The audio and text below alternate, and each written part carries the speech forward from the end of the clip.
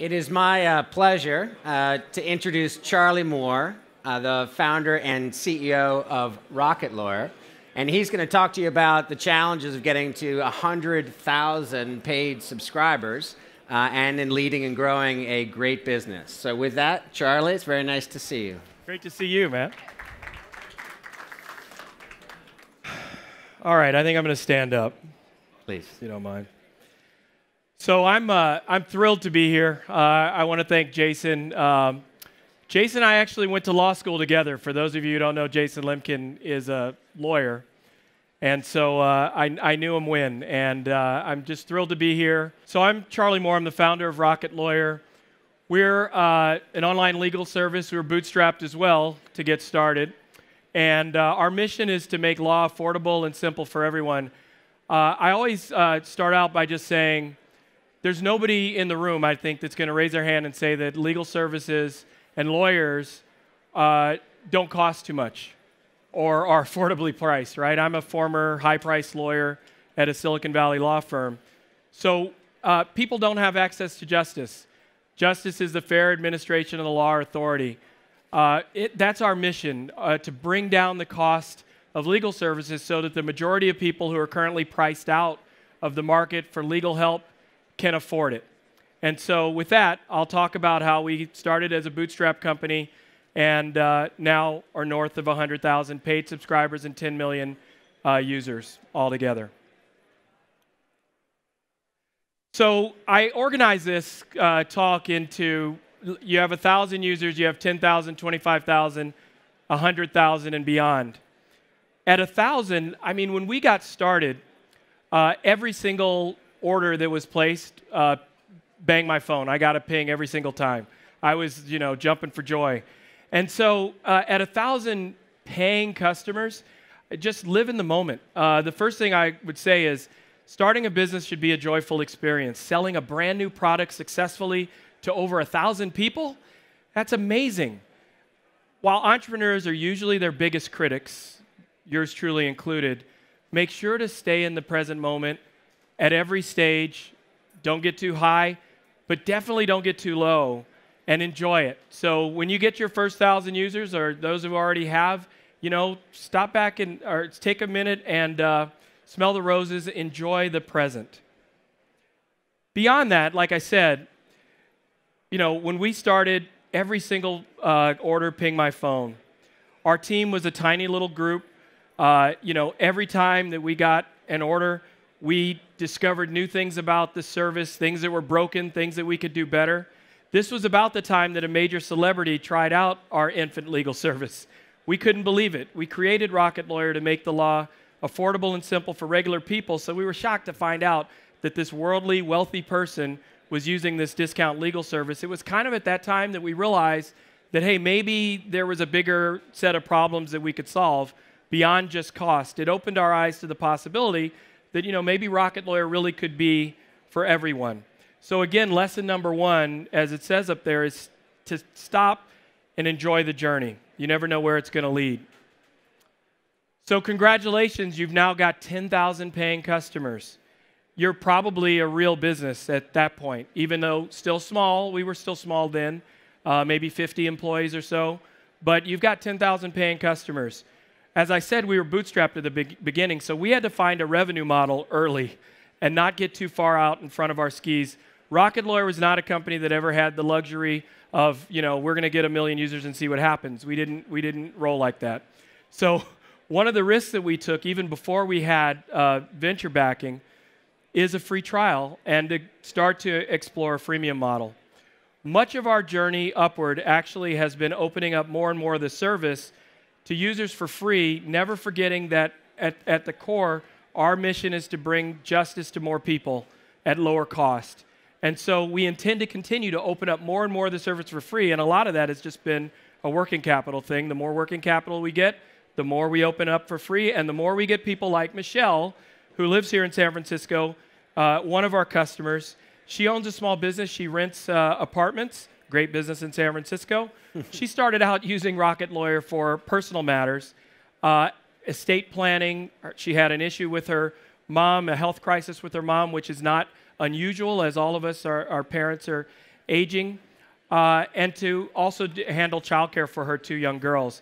But what we found out is as we started to uh, explore a freemium model, we let users like Michelle start to do some things for free and explore. She actually started using Rocket Lawyer for her business as well. And so if you don't try it, you'll never know. 10,000 is actually a really good time to experiment. I'm going to talk about experimentation all the way through. There's, there's a tendency, again, especially for a business like ours, that we needed the revenue uh, to, to not try new things when you find something that's working. You really have to break it over and over again to learn. And so, one of the things we learned is one price doesn't fit all. Michelle was a great example of that as we let her try more things uh, for free, she became an even better customer for us. So Charley, uh, the, it takes courage to open up the aperture on free.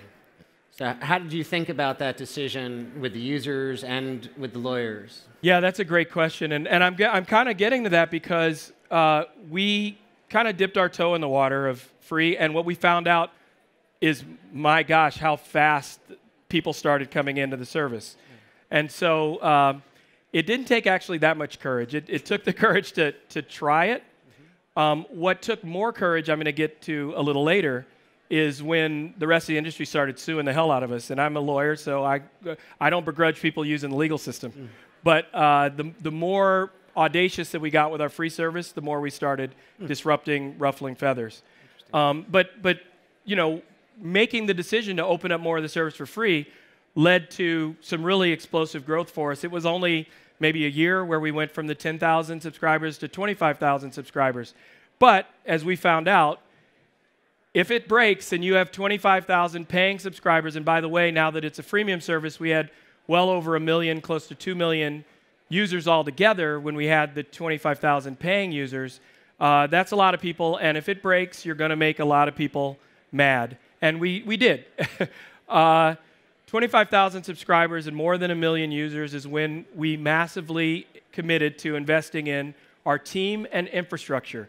It's when we, you know, hired people really fast, maybe 100 people in a year. That was the, when we raised uh, venture capital, when we really started to understand that we had an opportunity, but we could really screw it up and uh, we could screw it up fast. And so we realized that our proof of concept code was breaking we had too many uh, corners in it.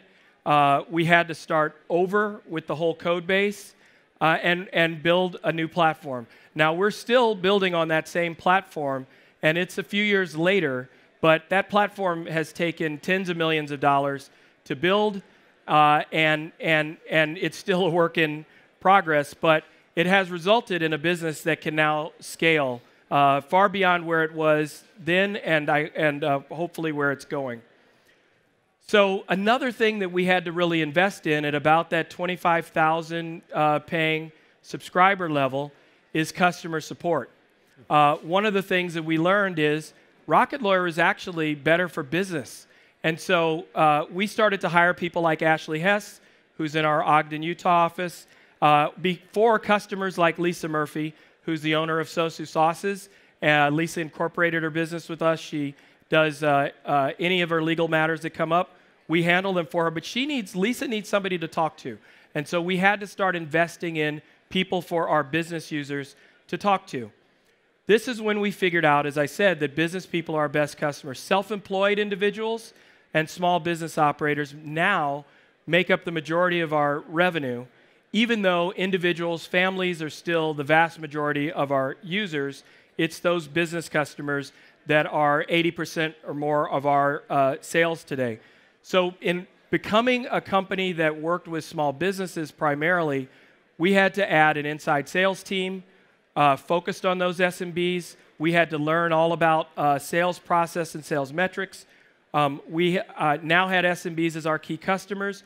We had to hire a VP of customer success and go through the process of opening our own call center, managing our own call center. We wanted to do that uh, the Rocket Lawyer way. Uh, today, we have about 50 people on the phones uh, all the time. In Ogden, Utah, we did a bake off among three different uh, cities and decided on Ogden for a variety of reasons. Uh, and so, all of those sorts of issues really came to the fore when we had about the 25,000 users. I can't say enough about the transformation of our business when we committed to having somebody for our business users to talk to.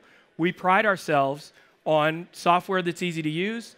I think we were a pioneer in legal services, which is, you know, dense with uh, lots of uh, words. The websites were dense, the apps were dense, everything was full of words. Uh, when we started Rocket Lawyer, with an idea that those services were for people who wanted to read a bunch of legal jargon, and we were for people who didn't want to read, and that we were going to do okay. But part of that is we needed to have people to hold people's hands on the phone and chat, etc. People like uh, Braden, Russell, Tessie, Ashley, talking to customers again, a landlord, a DJ, uh, Lisa, you met, uh, a, a uh, tech uh, entrepreneur, the last person listed there. It was also when we started to learn who our customers were and how to segment and how to deliver the customized type of interaction with them that their segment demanded. So we were growing up. Okay, so here's what we were talking about a minute ago. Yes. So about 50,000 subscribers, uh, over 20 million in annual revenue, uh, you know, maybe 5 million users altogether. That was the time that the wolves started coming to the door. Mm-hmm. That was the time that incumbents, uh, regulators, people started knowing who Rocket Lawyer was, started to, some perceive Rocket Lawyer as an opportunity, many perceive Rocket Lawyer as a threat. And so, as I said, I'm the last person on earth to begrudge anyone getting lawyered up and availing themselves of our magnificent legal system. But if you're a disruptor, as you start to uh, get bigger, you have to be ready. You have to be ready uh, with your processes. You have to be compliant with the law. Uh, you have to understand that, as Martin Luther King said, you, if it's an unjust law or a law that stifles innovation, you break the law. But you have to be ready to, to, for that fight when you do break the law, when you uh, are pushing the envelope of regulation, and, and uh, it, they're going to come at, at you privately they're going to come at you uh, uh, as far as uh, government compliance is concerned. So, as it says here, watch, their, watch your back. Um, our biggest competitor, LegalZoom, launched a very public lawsuit against us uh, three years ago as, as they started perceiving us as more of a threat. Uh, we had to be able to fight back. And uh, as Michael Arrington, in our case, Michael Arrington posted on TechCrunch, I don't know who's going to win this battle, but I'm going to buy my legal services from whoever does. Mm. So it's over, we're still standing. well, I think this one uh, is interesting as well from a venture capital perspective because to some degree, if there isn't ultimately conflict, it's not interesting. Sounds like it became very interesting, uh, but you need to have the right venture people around the table that appreciate that and can do that. And you certainly have done so with the firms that you've worked with. Yeah, that's, that's a great point. And uh, I could maybe will write a book about that part. Uh, board dynamics. Um, uh, corporate governance was kind of my career before I started Rocket Lawyer. Um, and so it is really important that, you, that your board has the right culture, um, that you're very transparent with your board, that your board is part of these decisions. You, you, you need them uh, behind you. And um, we, uh, this, these things take a lot of time. So we did subsequent rounds of financing with this litigation pending. And actually, that turned out to be a really good thing because the people who got on board were really on board uh, at that point. But um, I, you're absolutely right. Uh, you have to um, pick your, uh, it's just about culture and it's about uh, transparency communication, um, ultimately. It's a great point. So, moving on, uh, paywalls. So, you have 50, back to you know, the context here, you've got 50,000 paying customers. If you're a freemium service, you have millions of uh, free users, and uh, uh, you've got a lot of demands at this point. You're probably doing business uh, outside the United States. This is about the time that we launched Rocket Lawyer UK. Um, you are probably, if you've invested in infrastructure, you may be burning a lot of cash uh, at this point, and it's time that investors are starting to look at you as more of a later stage, later stage enterprise. So you have to start to think about paywalls and, and revenue. But uh, it's really important to do it in a way that builds user trust. So we've realized now, after a lot of testing and a lot of hard work, that users really don't mind paying for things if the paywalls are contextual and after we've gained their confidence in the product. So here's an example of, of a mobile experience where somebody's creating uh, a document on Rocket Lawyer, and uh, we've given them a certain amount of documents for free. Now we want them to pay for the next one. Um, we spend a lot of time and energy uh, and money on an e commerce service that is homegrown that enables us to do all that stuff consumers expect. One click, bang, you're done. All of those sorts of things, convenience, it makes a big difference for the user. So, another thing about that 50,000 subscriber part and about taking risks.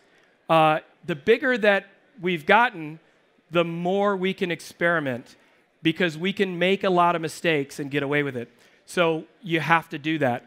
We've made some doozy mistakes. What's great is as we've grown, we've found that we can fail more and not less often. And as I said, we can get away with it because we can, you know, we can lose a thousand users, uh, but we can gain uh, 10,000. And as long as it works that way and you're willing to, to try it, you're going to be uh, great. But if you don't and you stay stagnant too long, as we've, as we've seen in our business, the, the competitors come fast and furious at you, doing the same old thing over and over again. Uh, so, a part of experimenting is you have to love your experiments that don't work. You've got to love, love your losers. One of my big losers as the founder is I really, really believe that we can sell a lot of insurance on Rocket Lawyer. I still think so, but we haven't pulled it off yet. Um, we've had a couple of partnerships with big insurance carriers to sell life insurance. We've had more success with business insurance, but um, and sort of the theme, we've had more success business in general, um, making money than consumers. But uh, life insurance, I still think it makes perfect sense. The average person who comes in to do an estate plan, they don't have a lot of assets.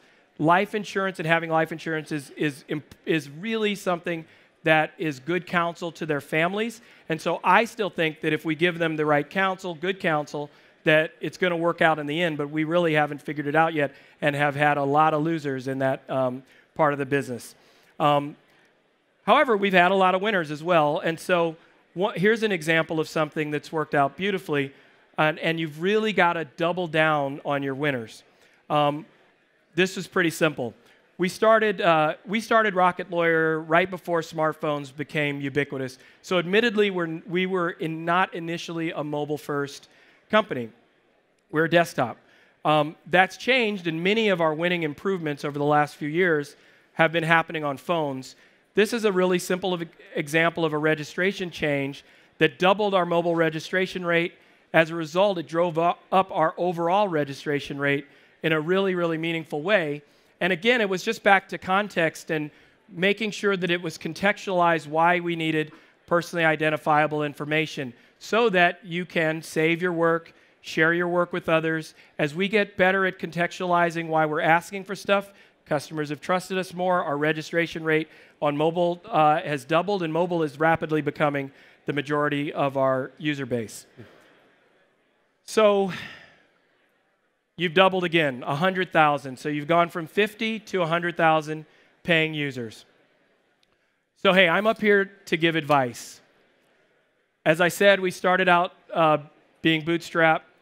Losing money makes me really nervous. It doesn't, I mean, a lot of you probably run businesses that are bigger than ours, uh, that may have a lot more revenue, may be uh, more profitable, or burning a lot more money. Um, but for us, and again, I think it's a cultural thing, uh, I just think that a service that has over 100,000 paying customers should not be losing a lot of money. Uh, maybe that's just me, uh, but I think uh, it's really worked out well for us that between 50,000 and 100,000, we have been screaming. We're not quite profitable yet, but we're really, really close. And we've been screaming toward uh, being profitable business, and I think will be quite a nice cash flow positive business um, uh, in, in the years to come, with, not without a lot of focus on the bottom line and hard work. Okay, last one. Uh, the uh, the 100,000 bonus tip is uh, you're not that big yet. So uh, 100,000 paying subscribers, probably between 50, 100 million uh, dollars of revenue. Um, but you, you know, there's a whole big world out there, and we've got to get to a million. I hope to come uh, back to SaaStr when we have a million paying users. Um, thank you and good luck.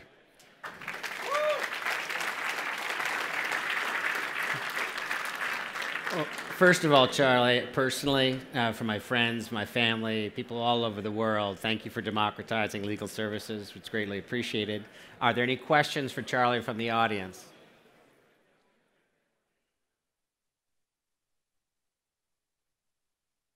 Hello? When looking at adoption, you could either have a paywall somewhere on a website or you can charge through the Google Play Store or iTunes. How do you make that decision? Because you can have better adoption, but you lose 30% of your revenue versus pointing them somewhere else to then log in through their mobile app. Yeah, um, we're all about what the user experience, and um, for users, it's it's more convenient. For them, uh, you have to be where they are, and so that's kind of my answer to a lot of things whatever's the most convenient for the user, you've got to you've got to do it that way, or somebody else will. Uh, there's also uh, not to get too deep into the numbers, but if you look at your customer acquisition cost, uh, the 30% on the Play Store, that the uh, App Store, is isn't really out of whack with acquisition costs uh, elsewhere. So. Um, for me, it's that re- for us that really hasn't been an impediment. Something we talk a lot about, but the decision ultimately comes down to make it super, super drop dead simple for the user. Actually, Thank you, Charley. Um, I've used Rocket Lawyer for probably about five years now, and uh, thank you. I've I've watched you guys transition from what was the interface and experience before to now what it is now. Um, when you guys ripped up the old code, like, did you hit the metrics you were going for? Was it just you knew the old code was just not good enough to scale? How did you measure um, making sure that your new code, um, you know, hit the metrics that you wanted to hit once you launched it? Yeah. So uh, there's a lot to unpack there, but first, thank you for being a customer. You're welcome. it's worth it. Thanks. Uh, so it, it's, it's an arduous process. Um, I, I won't um, lie to you, if I could do it all over again, I would have started with where, where we're at now. Um, but but we, we, we aren't able to do, weren't able to do that. So it's been very, very, very incremental for us.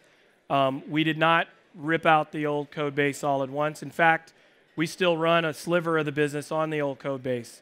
Um, what we committed to was every new service that we introduced was on the new code base.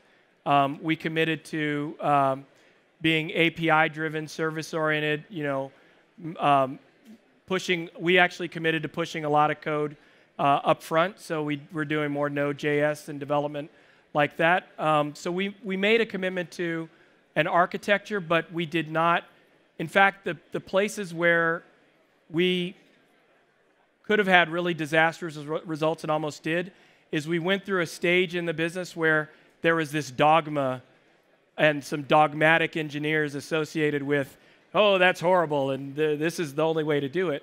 And today, I think the team is more balanced and, again, more user focused. So we, did, we didn't rip it all out, but we're, we're almost done replacing it. It'll probably take another year to maybe even 18 months before it's all gone. And uh, if you're a user and, and you like it, we just uh, refocused ourselves on thinking about look, we've got a service that we need to deploy rather than any sort of uh, dogma and, uh, you know, I've got a Java jersey on and I've, I've got a Scala jersey on or whatever. Charley, quick question over here. Could you talk a little bit about how your customer acquisition efforts changed going to 10,000 and then up to 100,000? Did things shift in terms of what type of paid acquisition you've done? And how did you compete with people like LegalZoom that had been there for years and were probably dominating a lot of things like Google AdWords? Yeah. Um, so, so we started out doing a lot of paid acquisition, uh, a lot of search marketing. we still do a lot of search marketing. Um, uh, we've we've always been good at search marketing, so that was uh, that was kind of a core competency that we started the business with. Um, over time, the majority of our traffic comes from sources other than search marketing, but our search marketing, our search advertising budget is actually bigger, you know, year after year. So we, you know, the brand, uh, you get more word of mouth. We introduced services like eSign. Uh, eSign, very viral service. Um, we uh, originally uh, licensed uh, EchoSign, so I was one of Jason's first customers. Um, and uh, eventually we decided to build our own eSign service just because of the scale. We do about 40 million legal documents a year on, on Rocket Lawyer, and uh, that added virality. So um, it's just been a, a natural, um, you know, first and foremost, don't run out of money. If you don't, you just sort of naturally, we're getting bigger. Uh, there's more word of mouth. We've got, we've expanded our advertising channels. Um, we also, and I'm, I'm going to put a shameless plug out there.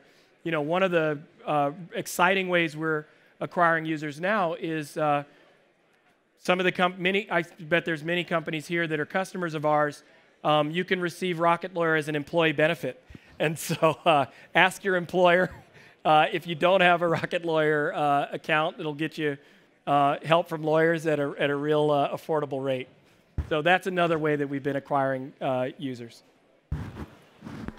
Quick question. Uh, we also work in a build a product for a legal space, but my question is, and you mentioned um, dogmatic engineers, and how many of those do you have, and how have you how you deal with uh, engineers who are stuck up on the old ways and don't want to change the Say the last part again. How do we deal with engineers? with engineers who are stuck up on the old ways, or like this is the way it has to be, and there is no other way.